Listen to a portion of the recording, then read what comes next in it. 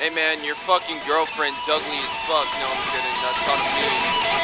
That's kind of mean of me to say. Yeah, yeah, yeah. Like, you know what's wrong?